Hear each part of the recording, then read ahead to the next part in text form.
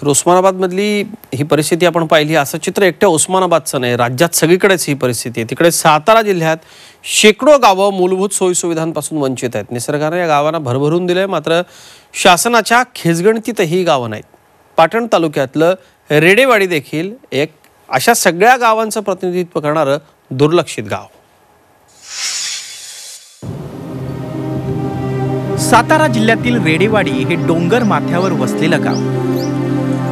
ग्रामस्थ वर्षानुवर्ष डोंगरातल्या झऱ्यातून पाणी आणतायत.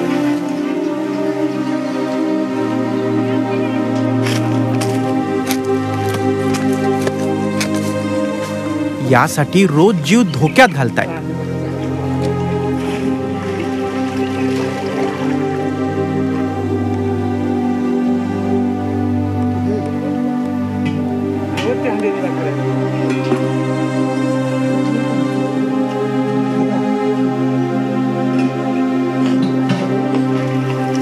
वन्य प्राण्यांची भीती असताना घोटभर पाण्यासाठी तीन चार किलोमीटरची पायपीट करून पाणी आणावं लागतंय.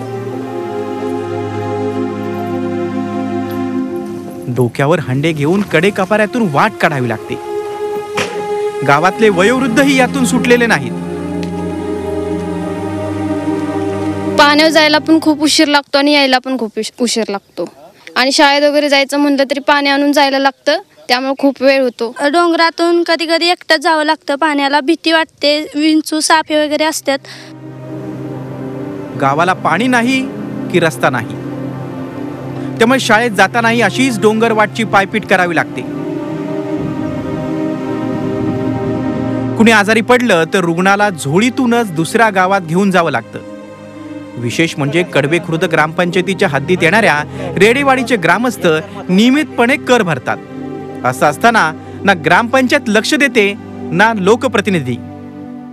पाणी नाही गावठाणातनं रस्ता नाही. मलाच पाच सहा गाडीने मुरडा उचलून डारगेतनं नेलं होतं. गाडी जर असती तर त्या गाडीला ताप पडला असता का? नाही. मग ह्या अशी आमची ही पहिली सोय कायची करा. गावात मूलभूत सुविधा नसल्यानं तरुणांना मुंबईसारख्या मोठ्या शहरात जाण्याचे वेध लागले.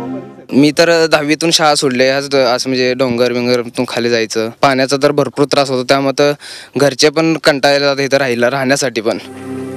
स्वातंत्र्य मिळून एवढी वर्ष झाली तरी रेडेवाडीच्या यातना मात्र संपलेल्या नाहीत.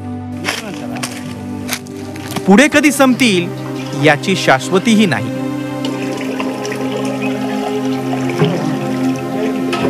तुषार तपासे झी चोवीस तास सातारा.